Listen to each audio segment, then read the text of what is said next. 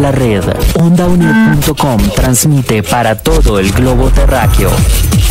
Un mundo, una sola señal. OndaUNED.com, verdaderamente acortando distancias. Verdaderamente acortando distancias. Esta es eh, Onda UNED y continuamos eh, conociendo más del trabajo, este conjunto que estamos haciendo entre la Universidad Estatal a Distancia de Costa Rica y la Universidad de Baja California.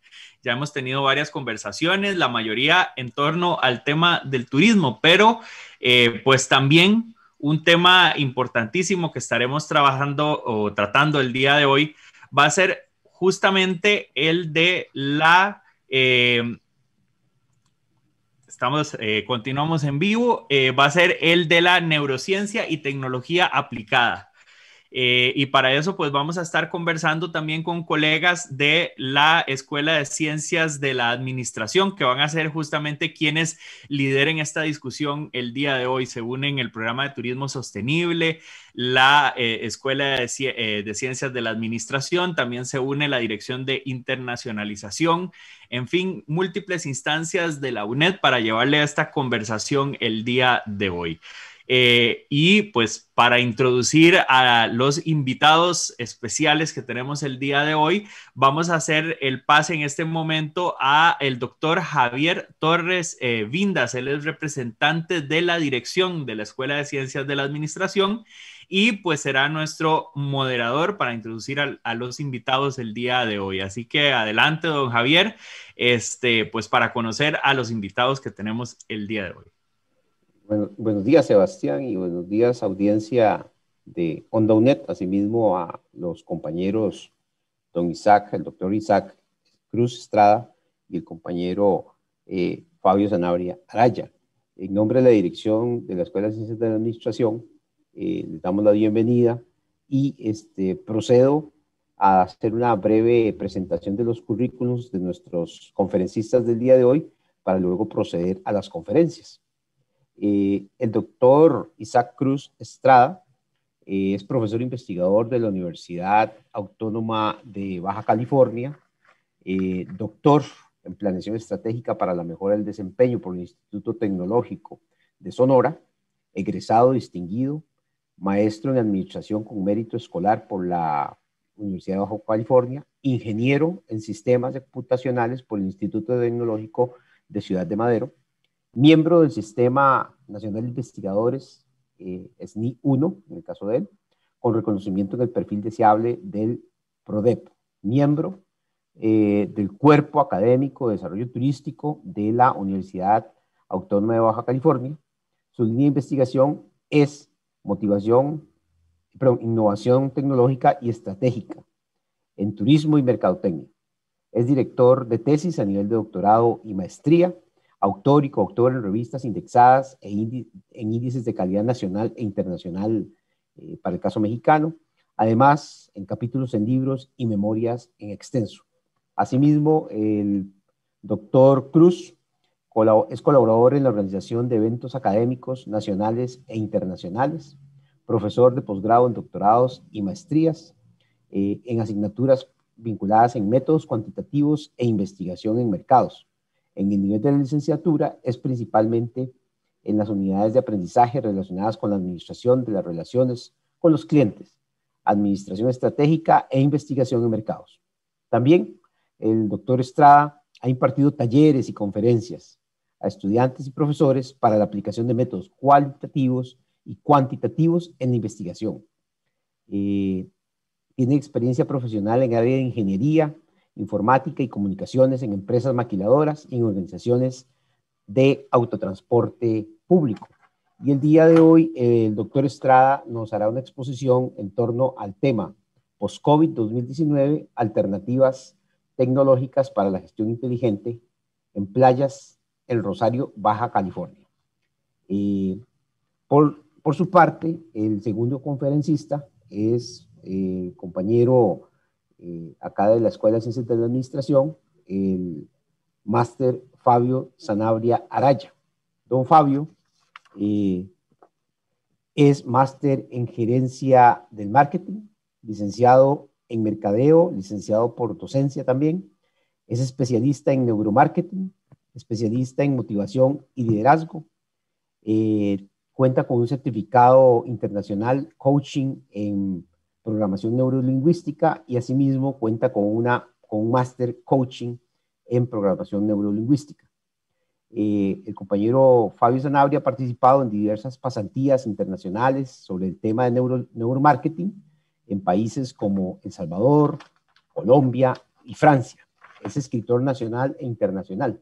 Cuenta además, eh, Zanabria, eh, con amplia experiencia como empresario y profesor universitario desde hace más de 22 años. Eh, labora en la Universidad Estatal Estancia, en la Escuela de Ciencias de la Administración, como coordinador de la Cátedra de Mercadeo y es extensionista e investigador. Actualmente, el maestro Sanabria está haciendo su doctorado en Ciencias de la Educación. Y don Fabio nos presentará la conferencia Neuromarketing en tiempos de COVID. Eh, sin más, eh, pues oiremos de seguido al doctor Isaac Cruz Estrada con su presentación. Adelante, Isaac. Bueno, pues muchas gracias por esta invitación y bueno, para mí es una, gran oportunidad estar eh, colaborando en esta parte precisamente de esta oportunidad de, intercambio de experiencias entre ambas instituciones. Y bueno, voy a proceder aquí a, a poner mi presentación. Está.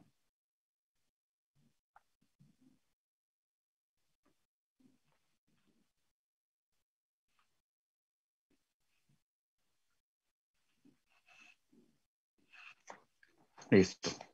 Sí, este, pues sí, esta es una invitación que para nosotros es una gran oportunidad. De hecho, este, el trabajo que eh, habíamos intentado realizar era inicialmente una estancia presencial por ahí en el mes de julio y bueno, ocurrió lo de la contingencia la pandemia y bueno, ahora tenemos esta oportunidad, pues aprovechando los medios tecnológicos para poder lograr hacer este trabajo eh, a distancia, pero obviamente que quedará, quedará pendiente quizás en una oportunidad más adelante donde las condiciones nos presten pues, para poder hacer la visita ya de forma presencial y pues continuar con los trabajos de colaboración entre ambas instituciones de UNED y en este caso UABC con nosotros acá en México.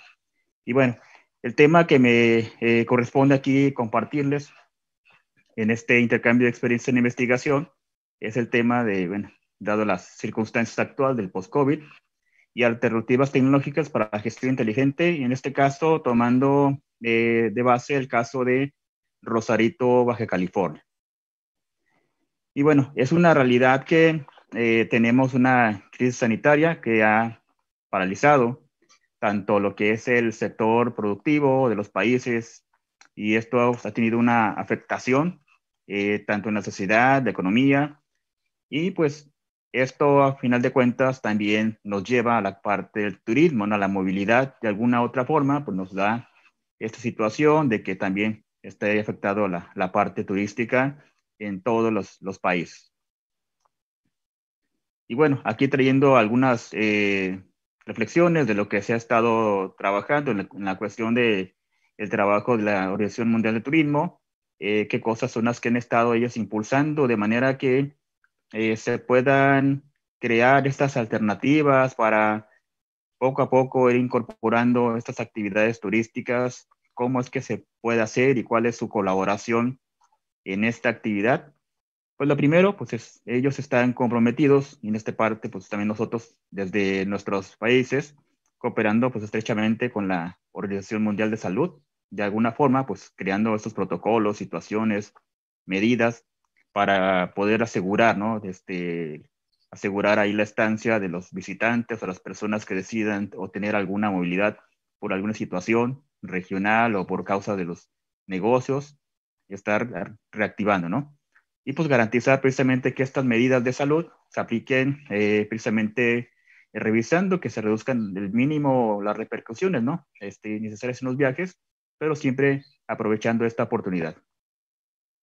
Y pues de alguna forma también esto queda, porque esto es un problema global, eh, la OMT pues tiene que estar en esta estrecha colaboración y con los países pues más afectados, porque al final de cuentas esto es un efecto global que si no se controla, pues de alguna manera estará siguiendo y alargándose la afectación para todos los países del mundo.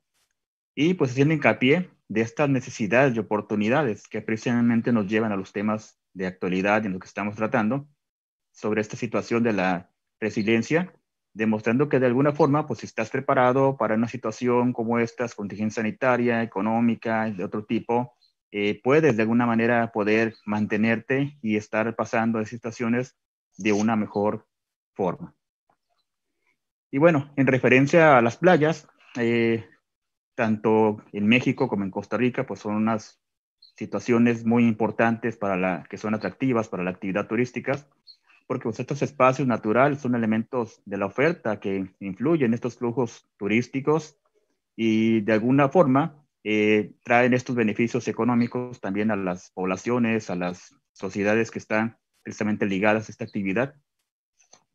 Y es necesario precisamente adoptar esas medidas, estrategias, para que se pueda mantener en un nivel eh, precisamente eh, considerando las recomendaciones sanitarias, pero que continúa de alguna forma este, esta actividad ¿no? turística. El, pues el modelo de turismo de sol y playa pues es capaz de acaparar el entorno de la mayoría de los visitantes extranjeros y turistas nacionales y extranjeros, al menos en nuestro país, sucede de esta forma.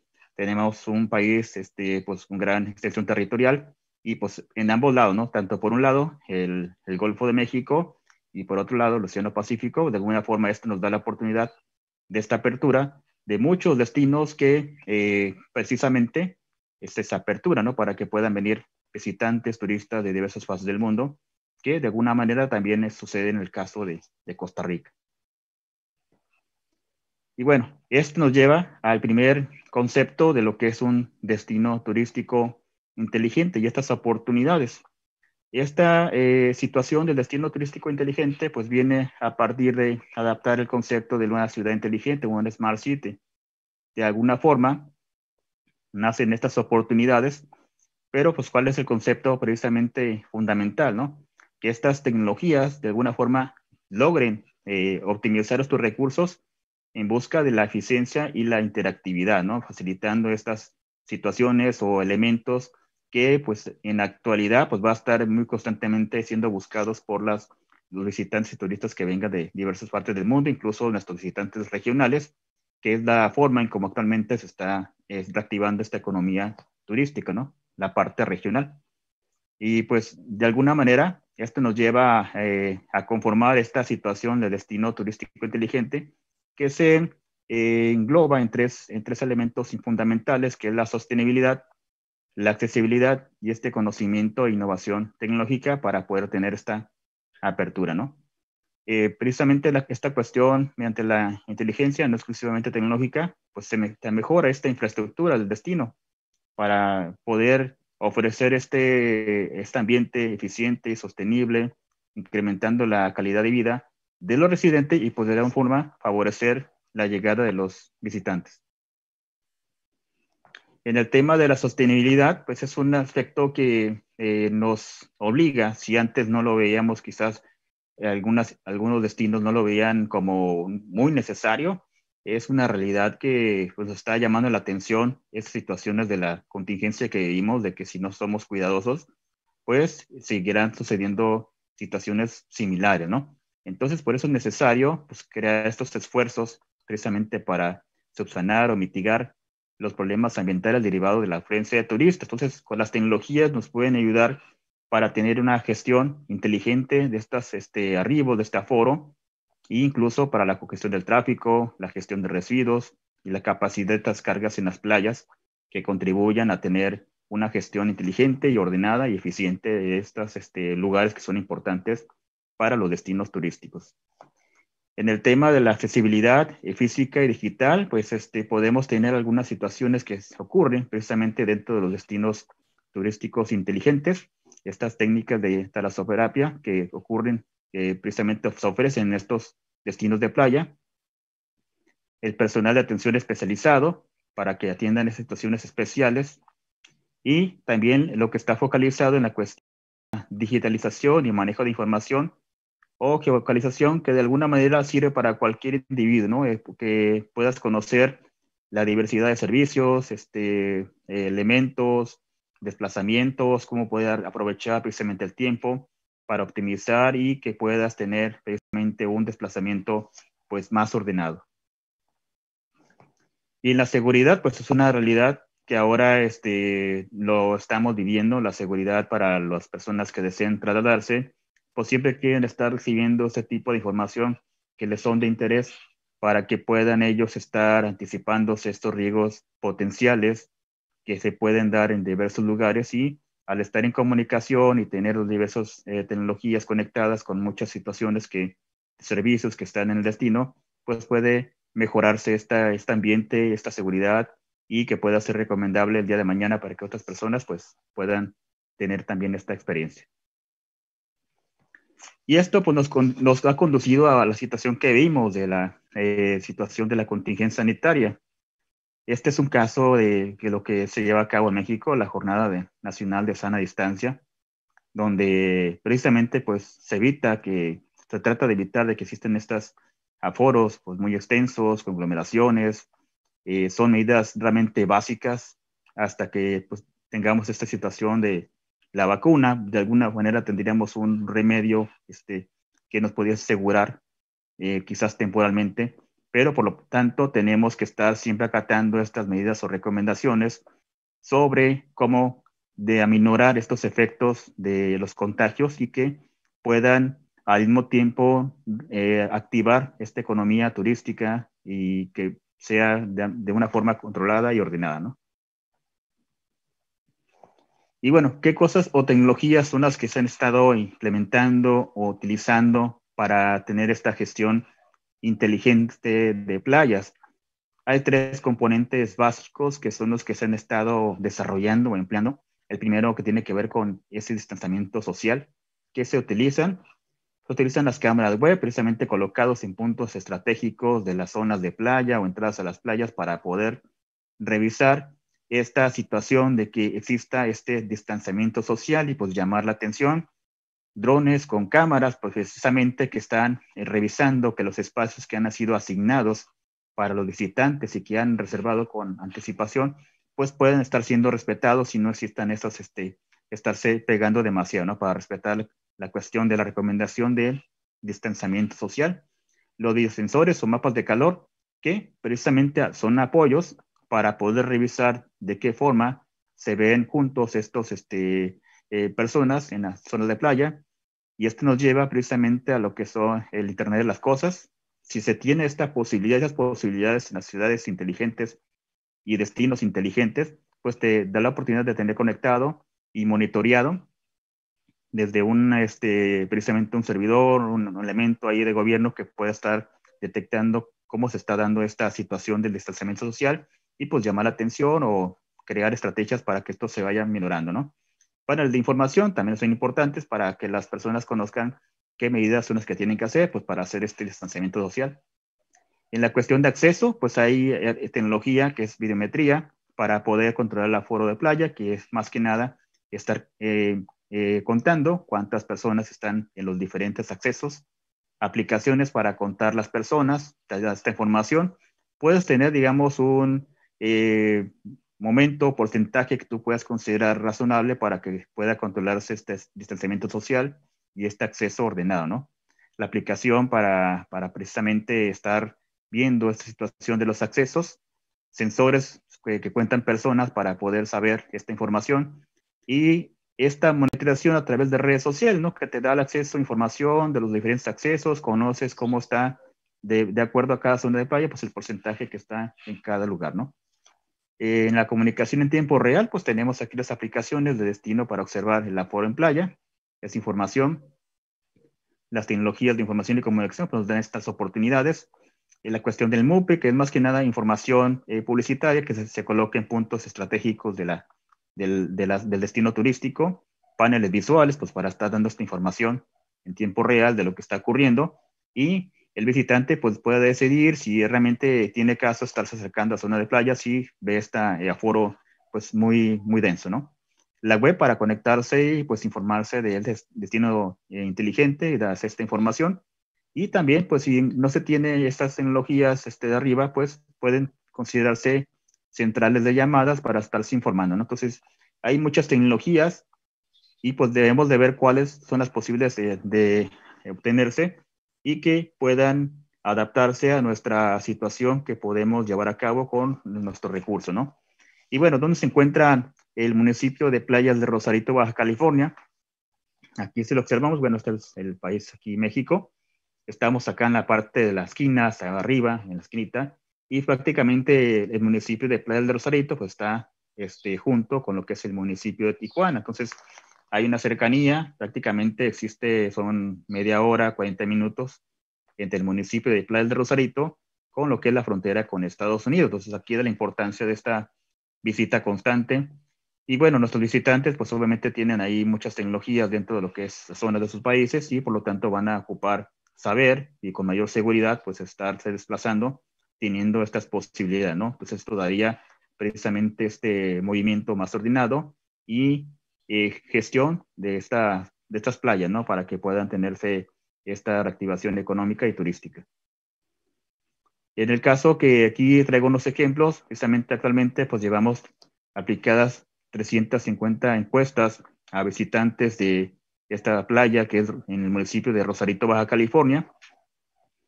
Y las dimensiones que hemos aplicado en estos cuestionarios a visitantes regionales de esta localidad eh, son precisamente qué tantas están de acuerdo eh, para precisamente adoptar estas medidas de distanciamiento social, control de accesos y comunicación con visitantes, experiencia en la zona de playa, ¿no? Entonces, estas son eh, dimensiones que estuvimos abordando en esto, este tema del, del tema de, las alternativas tecnológicas de la gestión inteligente en playa, ¿no? Y bueno, los resultados que podemos destacar, yo me fui precisamente a ver qué elementos son los que consideraban ellos eh, menos necesarios todos, todos están por encima de la media, quiere decir que están considerando que son buenos, son recomendables para poder eh, recomendarse y adoptarse en las playas. Pero bueno, enfoco en tres elementos que son los que ellos consideran que son los menos este, que les podrían, digamos, este, gustar o adaptarse. El primero, pues es la cuestión de los drones en la zona de playa para verificar el respeto de la distribución de los espacios entre los visitantes seguido de las cámaras web en puntos estratégicos y los videosensores para controlar el aforo en la playa. Entonces, esto es muy importante mencionarlo porque no solamente es la cuestión de la implementación de la tecnología.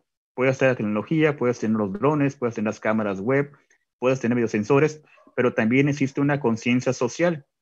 Y al menos en este resultado, sí están de acuerdo, pero lo que, en lo que menos, digamos, están ellos de acuerdo es eh, precisamente que les estén controlando este distanciamiento social. Entonces también acompañado de estas tecnologías, pues tiene, tiene que haber una campaña eh, de concientización social para que las personas realmente pues adopten la tecnología y que esta pues va a apoyar para poder hacer este distanciamiento social, pero también se necesita de este apoyo de las personas para que suceda en esta realidad ¿no? que estamos viviendo. En la cuestión del control de accesos en las zonas de playa, vemos algo similar a la respuesta anterior. Bueno, ¿qué medidas tecnológicas son las que esperaría que se adoptaran o que estuviesen disponibles para controlar el acceso a las playas? La SAP para conocer el aforo en los diferentes destinos de acceso de playas, los sensores en los diferentes accesos. Entonces, estos dos igual los puse para señalar porque son los en los que menos estarían como que de acuerdo. Y otra vez, vemos que de alguna forma sí quieren la tecnología, y vemos que acá pues quieren tener información para saber, quieren saber cómo está la, la cuestión ahí de la playa, pero de alguna manera la cuestión de conciencia social pues nos lleva a decir que pues no les gusta que estén controlando estos accesos. Sí están de acuerdo, pero de lo que menos están de acuerdo, pues aquí lo está indicando. Entonces aquí nos lleva a esto que acabamos de mencionar, que además del apoyo tecnológico, pues este, existe este conciencia social que se ocupa de esta campaña para poder sensibilizar a la población y que este, esté consciente de que esto es para el beneficio. Y bueno, la comunicación con visitantes, este, esto sí es simplemente medios de comunicación e información para poder estar intercambiando esos datos Por lo tanto, la mensajería instantánea, la central telefónica, la página web, carteles instalados, las aplicaciones del destino son este, elementos que pueden ser bien adaptados por, las, por los visitantes o turistas de estas playas. ¿no?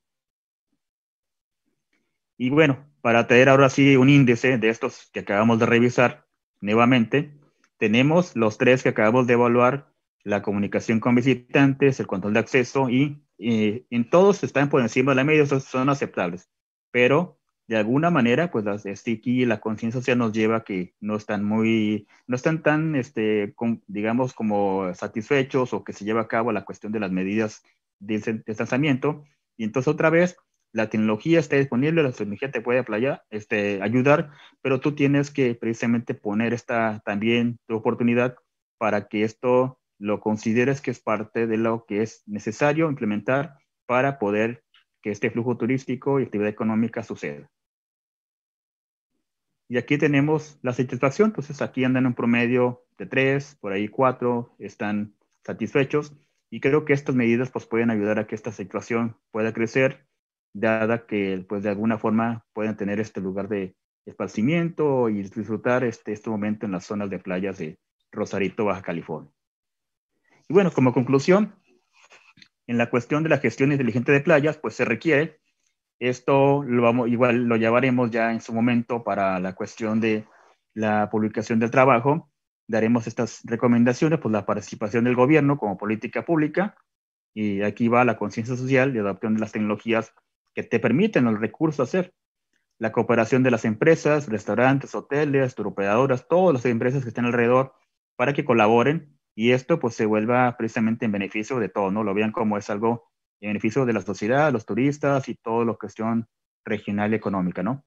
Los residentes locales, pues que trabajen y colaboren en esta conciencia social que apoya las tecnologías para que sea un beneficio y no se vea como una eh, limitación o restricción la concentración de los visitantes y estas oportunidades precisamente que te dará como destino turístico estar preparado y tener esta resiliencia para mantenerte al menos durante lo que está sucediendo en esta eh, contingencia sanitaria y futuros este, problemas sociales que se llegasen a tener o otro tipo de contingencia ¿no? que se llegasen a, ocurrir en algún destino turístico. Y bueno, pues eh, por mi parte sería eh, todo en esta participación y pues esperamos al final, eh, si tienen alguna pregunta, pues estaremos atentos a, a darles esta respuesta. Muchas gracias.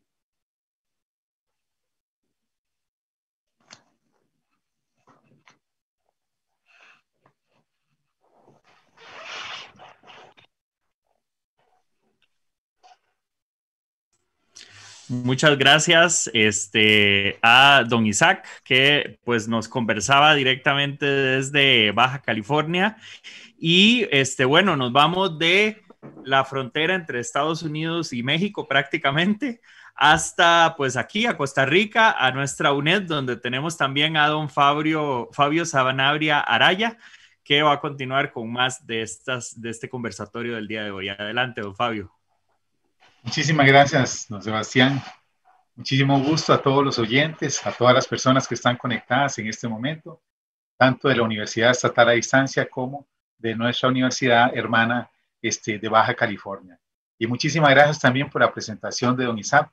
Muy bueno todos este, los elementos que nos compartió y nos ubica también en la realidad y en el contexto que están viviendo ellos en este momento en torno al COVID-19 y sobre el tema del turismo.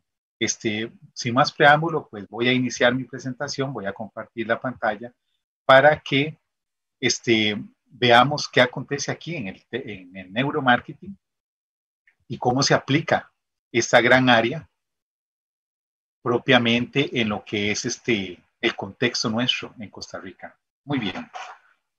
Neuromarketing en tiempos de pandemia.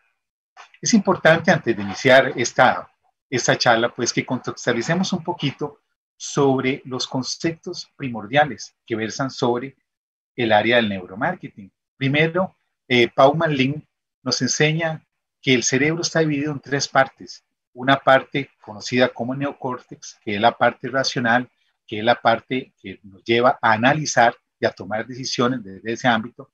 La parte del cerebro límbico, que es sensacional que es eminentemente emocional y que predomina mucho en nuestras decisiones de consumo, así como esta parte del cerebro reptiliano, que tiene que ver propiamente con la parte instintiva, con el poder, con la reproducción del ser humano, entre otros elementos, que también pues domina mucho porque es la parte inconsciente de nuestro cerebro. Como vamos a ver más adelante, pues influye significativamente en nuestras decisiones de consumo. Ahora bien, ante esta disyuntiva que estamos pasando con el COVID-19, vamos viendo que el ser humano está en un eminente estado de carencia. Carencia porque existen limitaciones, ya no podemos salir a la calle. Muchas este, de las compras que realizábamos de manera recurrente ya no las podemos hacer. Evidentemente, pues por mantener medidas higiénicas y no propiciar el contagio de esta enfermedad que ha puesto al mundo de cabeza. No obstante, pues este estado de carencia nos lleva a mantener una incertidumbre, una incertidumbre que nos lleva a preguntarnos qué va a pasar a futuro. Y esto evidentemente genera ansiedad. La gente no sabe qué es lo que va a suceder más adelante, cuándo va a terminar esto y evidentemente cuándo va a llegar esa ansiada normalidad a la que todos estábamos acostumbrados. Sin embargo, pues vamos a tener que irnos replanteando y de esta forma, pues empezar a adoptar ciertos hábitos diferentes que ya mucha gente los ha estado implementando con muy buen éxito, porque hemos visto que de las situaciones negativas de la vida se aprende significativamente. Y por eso a la incertidumbre vamos pasando pues a este elemento de inseguridad que es que hace que el consumidor propiamente compre menos, que exista una retracción al consumo cuando se mantiene en este estado de carencia y finalmente pues llega a ese estado del miedo que se produce en el sistema límbico de nuestro cerebro, que es el que procesa las emociones y los miedos, miedos que deben existir en todo ser humano, dado que el miedo es un regulador, es como un termostato en nosotros. Imagínense que si no tuviésemos miedos, pues estamos en una línea del tren y viene el tren muy cerquita y no nos quitamos. Vamos a pasar una calle y, definitivamente pues la vamos a pasar aún viniendo los carros que sean. El miedo nos ayuda a enfrentar en algún momento, ¿verdad? Esas situaciones que nos pueden ocurrir. Y eso se origina en la amígdala cerebral que manda una señal al hipotálamo. Y el hipotálamo como tal es el que nos dice si enfrentamos o huimos ante determinada situación. Eso es lo que está haciendo el consumidor propiamente. Está enfrentando a algunos, dado una, una situación netamente fisiológica, y otros, ¿verdad? No enfrentan, sino que están en otro, en otro modo, están prácticamente huyendo a determinadas situaciones y esto hace lo que llamamos la psiquis del consumidor, un estado psicológico que hace una represión en nosotros como consumidores. Ahora bien, es importante que conozcamos que el 85% de nuestras decisiones son de índole emocional. Prácticamente nuestras decisiones de consumo se procesan en ese cerebro límbico. Las emociones es lo que realmente nos llama la atención no obstante, el 15% de nuestras decisiones son de tipo racional. O sea, pensamos una compra en un 15%, pero las emociones son las que más nos impulsan a realizar ciertas este, demandas, ciertas este, adquisiciones de tipo emocional. Ahora es muy, muy importante ver esas etapas en el proceso de aprendizaje según Abraham Maslow, que nos habla de esta competencia inconsciente. La persona no sabe que sabe. Evidentemente, cuando realizamos compras de manera recurrente o esas compras que son rutinarias, que ya por default las vamos realizando, caemos en este, en este campo. La competencia inconsciente. Sabemos lo que tenemos que comprar, pero nuestro inconsciente ya nos ayuda a que ni lo pensemos. Ya lo hacemos en piloto automático. Mucha gente pues todavía realiza las compras de su canasta básica en ese modo. Van directamente al supermercado y compran los, este, los productos que realmente pues necesitan en ese momento. Ahora bien, ¿qué es lo que pasa cuando tenemos incompetencia inconsciente? La gente no sabe que no sabe. Esto es el peor de los males, ¿verdad? En el sentido de que la gente no sabe cuáles son las competencias, qué es lo que tiene que hacer, cuáles son las acciones que tiene que llevar a cabo. Y por otra parte, en el inconsciente tampoco lo tiene registrado. O sea, la parte cognitiva de su pensamiento no ha registrado esos elementos que lo lleven a acciones que los hace ya prácticamente, como decimos, en piloto automático. Pero tenemos otra que es la competencia consciente. Cuando la persona sabe lo que sabe en tiempos de COVID, la gente se ha informado significativamente sobre qué productos comprar, sobre qué otros productos no comprar. Y el inconsciente, o la parte más bien del consciente que nos está diciendo siempre, bueno, mira, toma en cuenta que este producto te puede causar algún daño, este producto este, no tiene las medidas higiénicas, hace que la persona quizás con una compra que hubiese hecho en tiempos antes, anteriores, de una manera recurrente ya hoy se retracta para poder realizar ese consumo. Se cuida más, es decir, ¿verdad? Bajo el concepto de la competencia consciente. Pasamos al último, que es la incompetencia consciente. Ahora sabe que no sabe. La gente que no está informada sobre los diferentes productos y sobre la situación que está aconteciendo, porque siempre hay un grupo, siempre hay un grupo, pese a la información tan desmedida que hemos tenido sobre una situación que no aqueja a un país, sino al mundo entero, hay siempre un grupo que o bien hace caso omiso a esas informaciones o bien simple y sencillamente pues están desconectados del mundo. Y eso hace pues que no tenga las competencias necesarias para realizar sus compras como tiene que ser. Y la conciencia pues de alguna manera pues les está dando alguna alerta. Lo que pasa es que estos son las personas que se contagian, las personas que recurrentemente pues están haciendo eh, situaciones pues o actos que no son los debidos. Vemos que en Costa Rica, dado toda esta situación, algunas campañas publicitarias de empresas que son pues, altamente reconocidas en nuestro país, como la de Cervecería Costa Rica y esta Imperial, ¿verdad? que es la águila, la, la cerveza premium de nosotros, este, ponen su logo al revés, como una forma de solidarizarse ante la situación que está viviendo el mundo. Y esta forma de solidaridad nos indica propiamente de que ellos están presentes y conecta tres elementos que son fundamentales en el neuromarketing, que son la atención, la emoción y la memoria. Qué importante, porque aquí nos llama poderosamente la atención, diciendo, pero ¿por qué tienen el logo al revés? Y ellos lo hacen prácticamente no porque ya que les quedó mal el, ¿verdad? toda la publicidad pegada en ese camión en ese rótulo, no, de una manera solidaria para decir, el mundo está de cabeza, pero nosotros estamos aquí presentes de alguna manera para solidarizarnos con nuestro país y con el mundo entero. De igual forma, vemos que algunas otras empresas como la Coca-Cola, este, McDonald's y esta empresa de vehículos, este, marca Audi, también hacen lo mismo. Coca-Cola separa las letras, principalmente para generar ese distanciamiento que debe haber entre las personas. McDonald's separa sus arcos también para provocar ese efecto de que es mejor estar separados para evitar propiamente los contagios, una manera solidaria de, a nivel publicitario para que conecte en la parte cognitiva de nuestro pensamiento. La gente sigue consumiendo los productos de estas empresas, pero sabe que están identificados con la situación que estamos aconteciendo en este momento. Eh, Audi separa sus arcos bajo el lema mantengamos la distancia y esto para estar unidos. Qué importante este mensaje dando a entender que es mejor estar distantes, pero siempre estar unidos, que no estar juntos y no sabemos si el día de mañana pues alguno ya no va a estar, porque sabemos que esto es una enfermedad letal.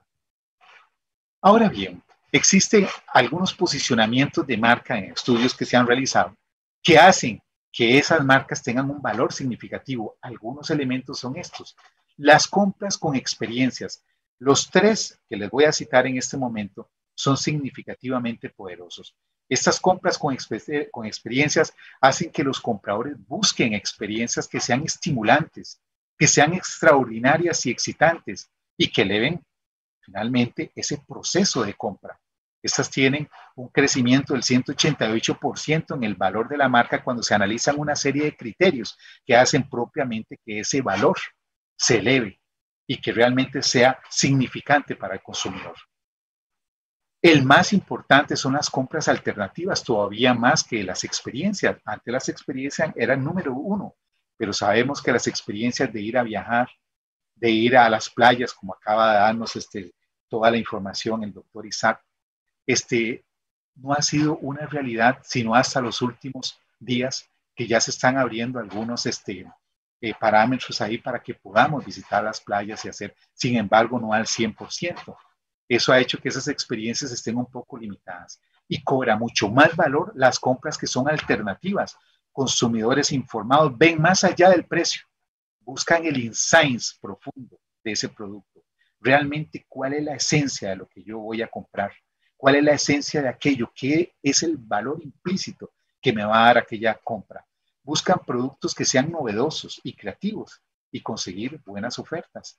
El 215%, pues, propician ese crecimiento del valor de la marca. Compras dinámicas, este es otro elemento fundamental en esto, que los compradores buscan soluciones de compra que se adapten a sus rutinas y economicen tiempo y dinero. Vean que todos tienen su valor implícito muy bueno, pero el que más está fortaleciendo en esto el valor de la marca son las compras de tipo alternativas.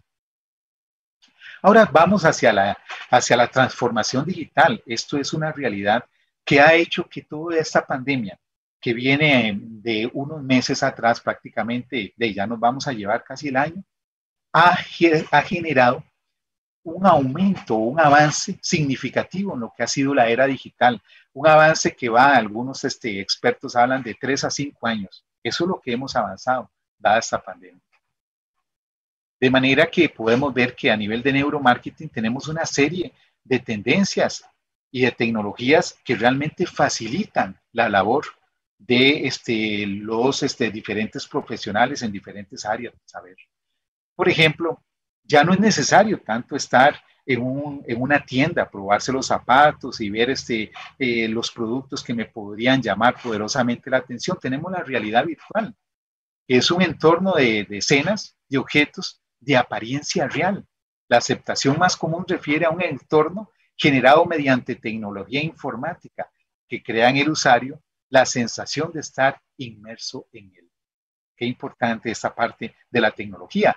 También tenemos la automatización, que ustedes han escuchado en noticias, pues hace poco hablaron de las casas inteligentes, de esas casas que se pueden operar perfectamente desde un, desde un este reloj, por ejemplo, digitalizado.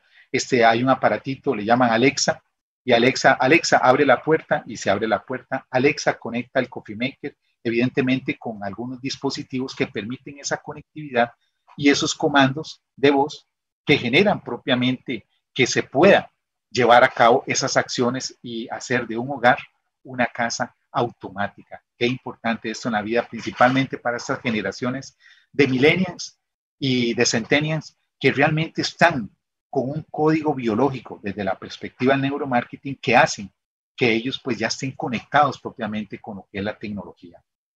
La realidad aumentada es otro elemento fundamental de toda esta tecnología a nivel de neuromarketing y que nos permite propiamente pues eh, aumentar o, visibilizar aún más algunos productos en nuestro mismo cuerpo, o sea, sobre, este, sobre muestra, hace que usted pueda verse cómo, cómo queda un vestido, cómo le queda una blusa y puede aumentar eso, ¿verdad? Se lo puede poner, eh, se presenta la figura suya y se pone el vestido, se pone zapatos, cambia color, eso es algo increíble también.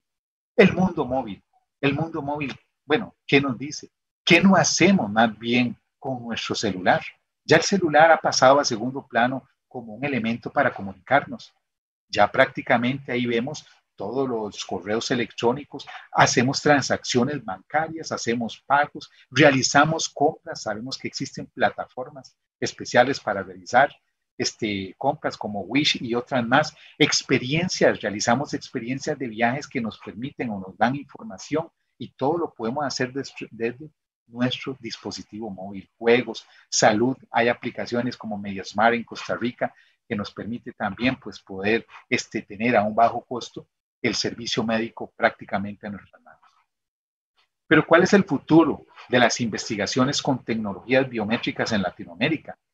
Qué importante este tema. Bueno, aquí tenemos varias, varias este, tecnologías que son las que realmente se utilizan y que nos ayudan propiamente a generar ese premium del consumidor, que es propiamente ese inconsciente y generar una exposición, un estímulo que influye en nuestra percepción, ¿verdad? Posterior, este premium se basa en la activación asociativa, Y finalmente, pues todos estos elementos herramientas del neuromarketing nos ayudan a potenciar este, esos elementos del inconsciente. Por ejemplo, el electrocardiograma. Es una herramienta muy utilizada, puesto que podemos obtener información en tiempo real sobre el estado emocional de los participantes en relación con la exposición a un estímulo publicitario. Vean lo que hace esta gran herramienta. Esta herramienta nos ayuda significativamente a poder simplificar muchas de las labores que antes hacíamos con procesos de investigación de mercados que eran más engorrosos y ahora los podemos simplificar. ¿Y qué decir, por ejemplo, de la resonancia magnética? Es una técnica que permite obtener imágenes de la actividad del cerebro mientras realiza determinadas tareas. Y de la respuesta galvánica, que nos permite medir la sudoración de las personas con un aparatito que se pone en el dedo y pues nos permite esa sudoración pues determinar si tiene alguna emoción con respecto a alguna exposición. El eye tracking, que es una herramienta también que mide movimientos oculares y pupilares, por los cuales podemos definir una serie de elementos como la atención visual, las estrategias visuales de búsqueda, los patrones de interés y confusión, el face reading, que es uno de los elementos más importantes hoy en día, que nos permite medir las expresiones faciales y eso nos ayuda pues a determinar elementos como la felicidad, la tristeza, el enojo, la sorpresa, el miedo, el desagrado ante determinados productos o servicios a los que se expone el consumidor. Todas estas herramientas, pues antes era muy difícil porque salía muy caro, pues poder accesar a las mismas, pero hoy tenemos también a través de plataformas como el Relay la posibilidad de poder utilizar estas herramientas biométricas a través este, de la Internet, a través este, de medios digitales. Y eso pues es una gran ventaja. Ahora bien, pues estamos ante un mundo digital y esto nos lleva a repensar un poco, rehumanizar el mundo. Y esta rehumanización del mundo es porque la tecnología tenemos que verla como un complemento a la labor del ser humano. No podemos verla como el sustituto. Algunos hablan de la inteligencia artificial que va a venir a sustituir al ser humano. Y eso no es así. Lo que sí va a sustituir al ser humano, para que lo tengan muy muy en cuenta, es aquellos profesionales que no hacen uso de estas tecnologías frente a aquellos pues que están con los métodos tradicionales y que no logran eficientizar sus procesos, sus servicios, etc.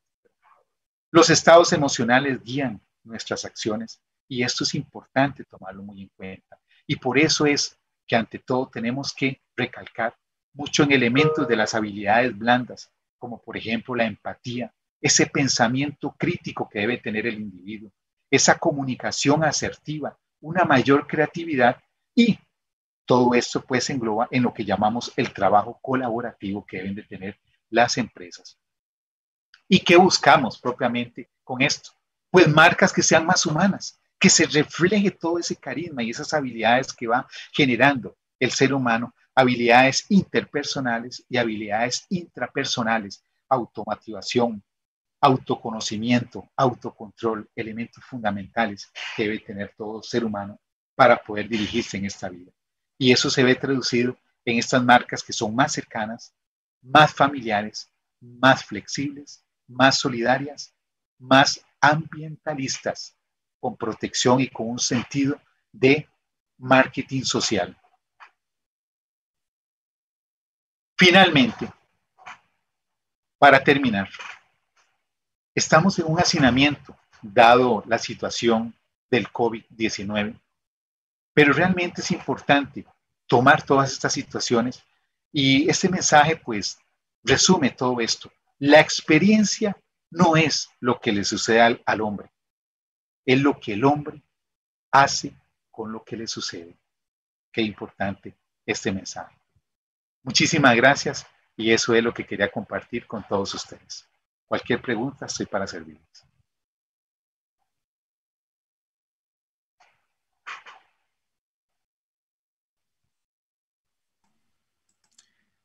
Bueno, esta es eh, la segunda conversación sobre este tema tan importante del neuromark, eh, de la neurociencia y la tecnología aplicada.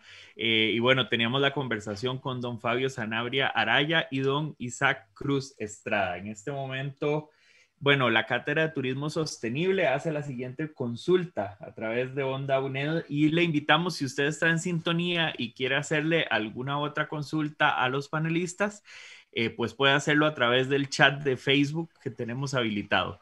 Pero bueno, tenemos una consulta de la cuenta Cátedra Sostenible, Turismo Sostenible UNED ¿Cuál es el principal reto que enfrenta el neuromarketing en estos contextos? Así que le damos el paso primero a don Isaac allá en Baja California eh, y luego a don Fabio. Adelante, don Isaac.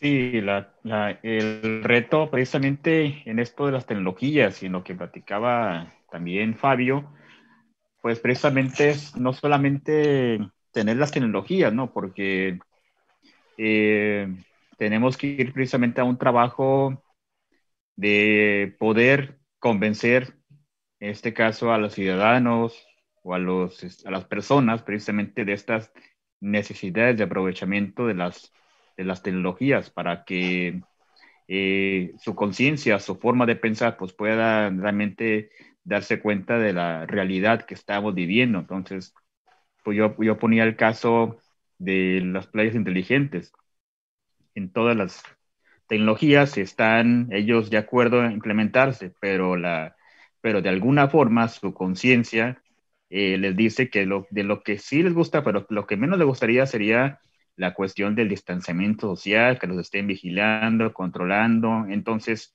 ese es el reto del neuromarketing, precisamente para que de alguna forma la, los, las personas empiecen precisamente a tener este cambio de que esto nos va a seguir ocurriendo de aquí en adelante. No sabemos qué va a suceder el siguiente año, obviamente que no lo deseamos, pero es la realidad a la que nos estamos enfrentando por tantas cosas que hemos estado haciendo tan mal, ¿no? Entonces, yo, esa sería mi, mi opinión precisamente el reto del marketing para poder llevar a esta conciencia social y que los ciudadanos, pues precisamente vayan, vayan cambiando, irlos midiendo en, en qué sentido van Adelante, don Fabio. Muy bien, don Isaac. Este, bueno, desde la perspectiva del neuromarketing, pues tiene varios retos que son sumamente importantes, como el hecho de conquistar esa parte inconsciente del ser humano. Sabemos que a través del neuromarketing ya no es el producto, ya no son los elementos racionales del producto, precio, plaza y promoción, que antes pues con mucho este augurio pues anunciamos en lo que era el paradigma neoclásico del marketing. Pero hoy en día, pues en este paradigma que nos habla sobre los elementos del neuromarketing, sabemos muy bien que el ser humano va evolucionando, que el ser humano ya se está reinventando, que el ser humano en este momento tiene un código biológico que obedece propiamente a emociones, que obedece propiamente a lo que le genera plena satisfacción, que la individualización, del ser humano se está dando, la despersonalización también se está dando y principalmente cuando no advertimos que estas situaciones que estamos viviendo pues hacen que las personas no se distancien solamente por el hecho del COVID, sino también que se tienden a deshumanizar. E importante para el neuromarketing es tratar de buscar elementos fundamentales para cobrar esa conciencia, hacer personas más conscientes y que las compras que realizan pues sean más medidas, más analizadas, este, que en realidad pues la persona poderle generar en esa parte cognitiva de su, de su pensamiento elementos suficientes para que lo hagan como piloto automático, pero de manera efectiva, pues a favor de las empresas pues, están vendiendo sus productos y servicios al mercado. Don Fabio, algo que me llama mucho la atención y bueno, ya lo, ya lo, ya lo hemos sabido siempre quienes, quienes alguna vez en, nuestra vida hemos estudiado la publicidad y es esa, esa emocionalidad a la hora de tomar decisiones. ¿Cómo, vamos a ver, yo, yo siento que, él, y, usted me corrige desde de, de ese conocimiento suyo en ese tema, eso, eso también no nos está jugando como un, un, truco como seres humanos, porque si estamos tomando decisiones en función de las emociones, principalmente en el caso de las compras, pero en, en toda nuestra vida, no es eso justamente lo mismo que hace que nos traguemos primero cualquier fake news simplemente porque se, se escucha más eh, emocionalmente más poderosa que algo racional de, de ponerse a uh -huh. pensar y, y, lo hemos visto en el, en el claro. como eh, estos discursos populistas este, han sido súper exitosos cuando los discursos racionales no, y ya vemos las consecuencias, ¿verdad? Claro, claro, te entiendo, Sebastián. Ahí vamos a combinar un poquito esto con la esencia del neuromarketing. En esencia, pues el neuromarketing se debe a la PNL, a la programación neurolingüística. En realidad, pues lo que nosotros tenemos en nuestro cerebro, lo que almacenamos en esa parte inconsciente, viene de nuestras creencias. Y esas creencias arraigadas pues son los que configuran esos pensamientos que día a día pues nosotros procesamos y nos llevan a acciones que se ven encaminadas pues a los productos y servicios que adquirimos día con día. Si tu mentalidad es a que vas a tener que comprar pues productos, te gusta la Coca-Cola, te gustan este productos de otra naturaleza que a veces no son muy bien recomendados por algunas situaciones adversas a nuestra salud, y eso es lo que tenés vos metido en tu mente, Evidentemente, la parte del inconsciente va a jugarte una mala pasada y tomar malas decisiones cuando vas a adquirir algunos productos del campo de, la alimentación. Eso entonces nos lleva a pensar en que como seres humanos tenemos que ver qué le metemos a nuestro cerebro. Eso es como una bodega. Si usted le mete a la bodega montones de basura, porque hay bodegas que la gente dice, nada, esta es mi bodeguita, y la revisas y lo que tiene es un botadero de basura en la casa en realidad pues no hay nada que, sirva o muy poquitas cosas. Y así es nuestro cerebro, nuestra parte cognitiva, cuando le registramos una serie de información a través de nuestras creencias, que muchas pueden ser limitantes, y definitivamente esto nos lleva a tomar decisiones de consumo y no solamente en ese ámbito, sino en todos los ámbitos de nuestra vida que no son las mejores. ¿verdad? Básicamente, este, Sebastián.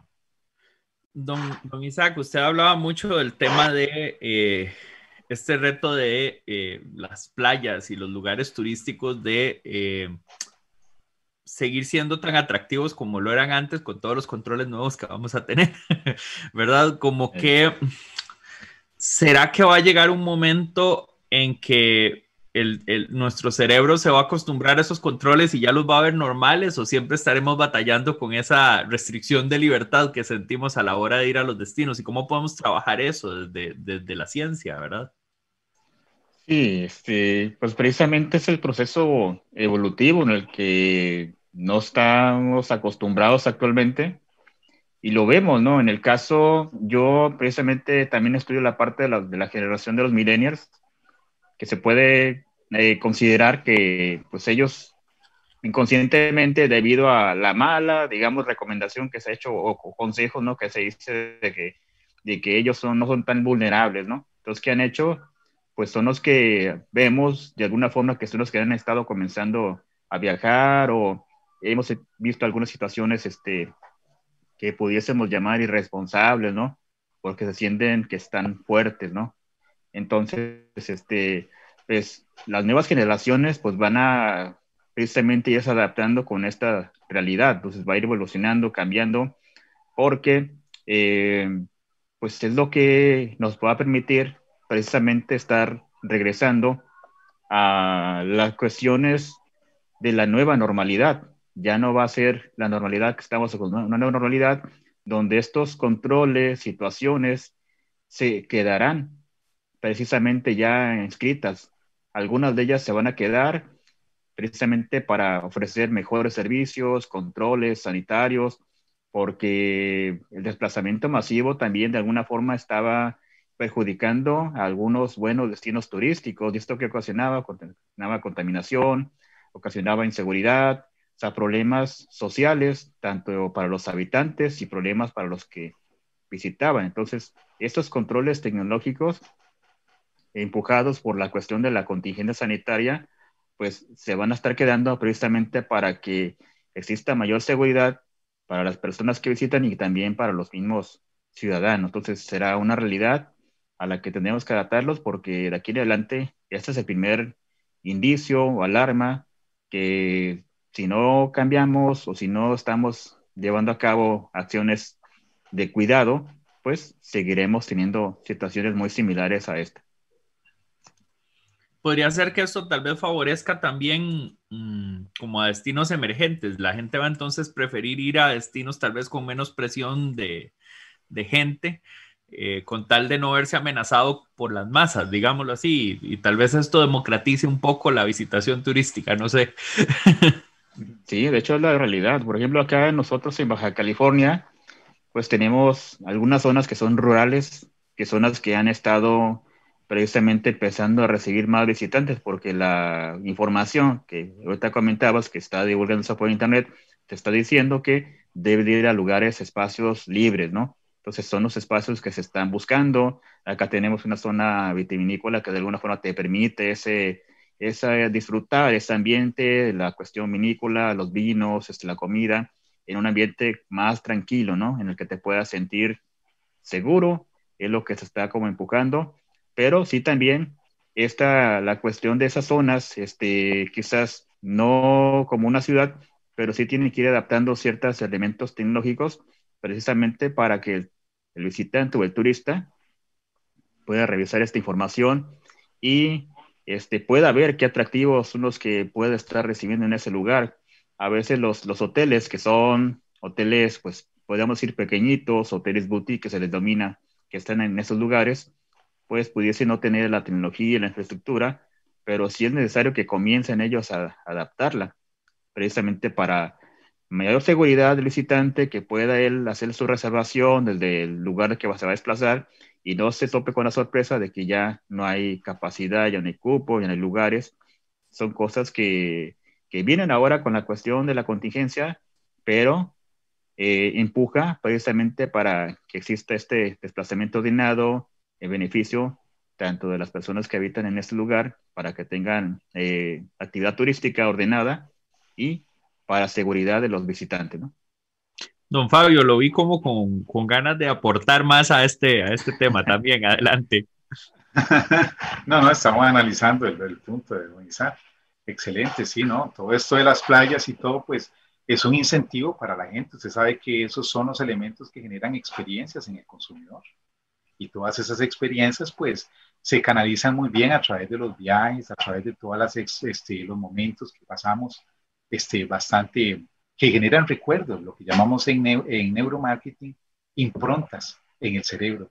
Esas improntas que son este, como sellos que quedan ahí impregnados en nuestra parte cognitiva y pues traen a colación pues diferentes situaciones pues que después las complementa el ser humano. Mira qué bonito ir aquí, este recuerdo que nos atendieron muy bien y todos estos elementos pues son los que hacen que generen un mayor valor a todas las este, ofertas que hacen las diferentes empresas. Pues en este momento, pues los empresarios tienen que reinventarse definitivamente y recobrar primero que nada la confianza en el consumidor, que es la parte fundamental. Volver otra vez a recobrar esa confianza y que esa incertidumbre pues vaya a ir mermando poco a poco. Y esto pues es de tiempo. Y por lo tanto, pues en este momento hacer uso de tecnologías y todo lo que incluso don Isam pues nos ha mencionado que ellos están implementando, pues siguiendo a, seguir haciéndolas e incluso utilizar de estas tecnologías que yo también mencioné, que pueden darle un mayor valor a la oferta de producto y servicio. Bueno, ya casi regresamos con ustedes para una conclusión final, pero antes de eh, terminar este conversatorio, queremos reconocer también el trabajo de eh, Susan Solís Rosales eh, y por ahí tenemos también a doña Ileana Garita González, que es la coordinadora de la cátedra del programa de turismo sostenible y este Susan Solís de la cátedra de turismo sostenible también y este, a don Luis Barbosa de la Escuela de Ciencias de la Administración que nos colaboraron para poder realizar este conversatorio. Por ahí me confirma si está también doña Cecilia Barrantes, que es la directora de este, internacionalización de la UNED, porque pues por supuesto que esta es una colaboración internacional con la Universidad de Baja California. Ahí tenemos entonces doña Cecilia Barrantes Ramírez para que pues eh, haga un cierre a esta a esta participación porque ya hemos tenido varios conversatorios con la Universidad de Baja California, ya vinculando casi con, la frontera norte de México con, Estados Unidos. Así que, pues, eh, de verdad, un trabajo muy importante que se hace desde la Dirección de Internacionalización. Así que adelante, doña Cecilia Barrantes eh, Ramírez. Muchísimas gracias, Sebastián. Sí, este, en realidad quiero en representación de la Dirección de Internacionalización y Cooperación darle nuestro profundo agradecimiento al doctor Isaac Cruz de la Universidad Autónoma de Baja California y también, por supuesto, al máster Fabio Hernández de la Escuela de Ciencias de la Administración por estas excelentes presentaciones del día de hoy. Nos comentaba el doctor Isaac que él, junto a la doctora Ana María Miranda, se acercaron a nosotros hace algunos meses con la finalidad de realizar una estancia académica este año eh, esta estancia en ese momento se pensaba que iba a ser obviamente presencial en la UNED. Sin embargo, por la crisis sanitaria, pues se nos obligó a realizar grandes cambios en nuestras actividades institucionales y aunque no desechamos la idea de que la estancia presencial se lleve a cabo en algún momento cuando todo esto pase, pues resulta muy satisfactorio ver cómo las tecnologías de información y comunicación nos han permitido continuar con nuestras actividades. Este es ya el segundo webinar en compañía de la Universidad Autónoma de Baja California en temáticas que son súper pertinentes para nuestra realidad actual, como es el tema del destino turístico inteligente, un sector que ha sido tan golpeado por la pandemia y que requiere de, de ideas muy innovadoras para su reactivación, mismas que ya hemos visto han sido expuestas en este caso de éxito que nos comparte el doctor Cruz. Pero este tema también se complementa de una forma excelente con los conceptos de neuromarketing que nos ha compartido don Fabio y que nos ilustra sobre el comportamiento del consumidor producido por elementos que influyen de manera emocional. La información es muy relevante, me parece, para el sector productivo, pero también para la academia y para la población en general. Eh, como decía Sebastián, hace ya algunos años que la UNED y la Universidad Autónoma de Baja California firmamos un convenio marco y hemos mantenido procesos de intercambio y de cooperación entre ambas instituciones. Pero este webinar el día de hoy nos confirma la importancia de seguir compartiendo experiencias y buenas prácticas entre estas instituciones de educación superior. Hoy así finalizamos una primera etapa de esta nueva fase de cooperación conjunta que sé que tendrá muchísimos otros componentes y que ya han sido planificados entre ambas universidades y con eh, la participación de ambas escuelas. Por eso quiero agradecer a los compañeros de la Escuela de Ciencias de la Administración, en especial a don Luis Fernando Barbosa, y a las compañeras de la carrera de Gestión Turística Sostenible, a Iliana Garita, a Susan Solís, porque asumieron este compromiso de cooperación y por todo el esfuerzo que han realizado para que este webinar, el anterior y, por supuesto, las otras acciones que vengan posterior sean un éxito. También quiero agradecer a Sebastián y a Onda UNED por esta excelente plataforma que hace que las actividades planeadas sean una realidad.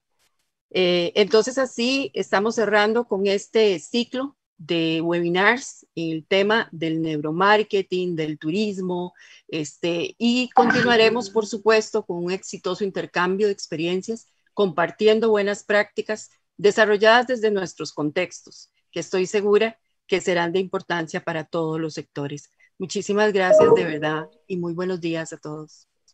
Muchas gracias, doña Cecilia. Y bueno, les vamos a mostrar las caras de las personas que ayudaron a o, que colaboraron detrás de cámaras para este, realizar este conversatorio. Bueno, ahí tenemos a doña Ileana eh, Garita, que es Garita González, que es la directora de la coordinadora del programa de turismo sostenible. Y por ahí ya se está acomodando Luis Barbosa para que lo pongamos al aire. Ya casi, ahí, bueno se le cayó, se, se, cayó el celular, pero ya casi vamos a tener a don Luis Barbosa que va a estar saludando a todos y todas. Ahí está don Luis, adelante, bueno, don Luis ahí saludando, eh, que de la Escuela de Ciencias de la Administración. Este, ahí lo tenemos a don Luis. Este, y bueno, ellos que nos colaboraron desde diferentes instancias de la UNED.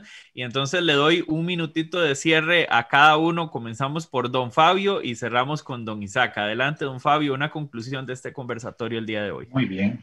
Bueno, ahí estamos este, a inicios de la era digital. Creo que esta pandemia ha hecho un avance significativo en, este, en esta área. De tres a cinco años hemos avanzado y ya se quedó para quedarse entre nosotros y, e ir dejando de lado pues todos esos pensamientos negativos sobre las adversidades, sobre las situaciones negativas que nos enfrentan y aprovechar todo instante que tengamos en nuestra vida. Realmente pues para los pequeños empresarios que tienen sus negocios, aprovechar toda esta tecnología biométrica que ahora está al alcance de manera digital, donde se pueden a través de Relay, pues perfectamente este, hacer este, los, este, los, este, ¿cómo se llaman? Los ensayos adecuados para poder este, medir o testear ciertos este, elementos ahí que se dan a nivel cerebral y poder pues determinar si sus marcas realmente están cumpliendo con el cometido que se quiere. Todo esto es una realidad ahora con la era digital que estamos afrontando en este momento. Muchísimas gracias. Sí, bueno, en nuestro caso, eh, yo creo que es una realidad la cuestión de la innovación.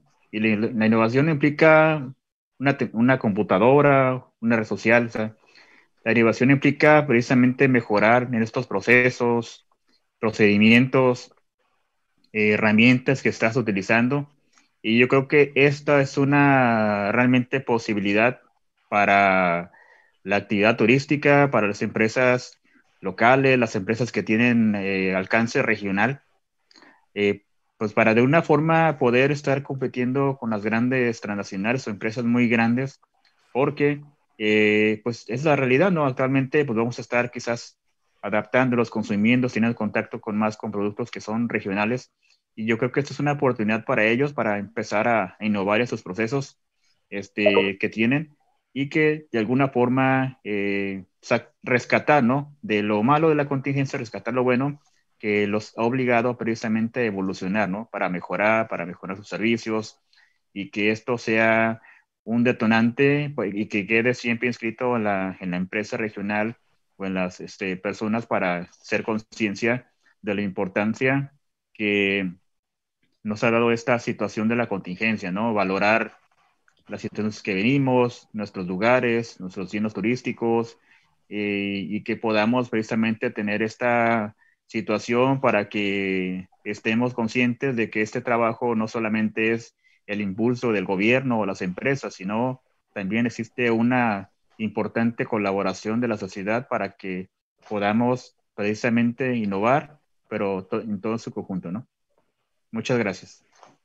Bueno, veamos esto como esa oportunidad de innovar, como esa oportunidad de crear ese mundo nuevo eh, que pues va a surgir de esta pandemia.